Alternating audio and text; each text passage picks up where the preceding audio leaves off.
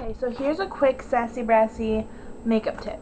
So this is um, from NYX or NYX, and it's a glitter cream palette, and it's just glitter. It's just glitter. So I'm going to take any one of these colors.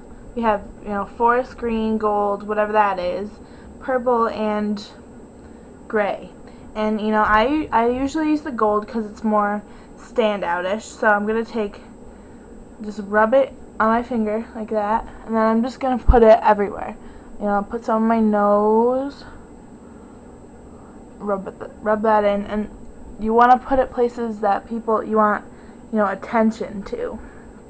So on your forehead um, maybe I'll take a different color a darker color and I'll, I'll just put it right under my eyes like this so people will be drawn to my eyes.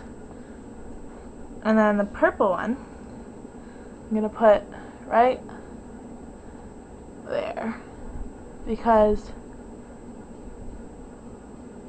the first thing people usually look at in girls is their lips. So you're just gonna, you know, bridge the gap between your nose and your lips and make it really eye-catching and, you know, popping, attractive to look at. So there's the glitter there on your nose and right below your eyes like that.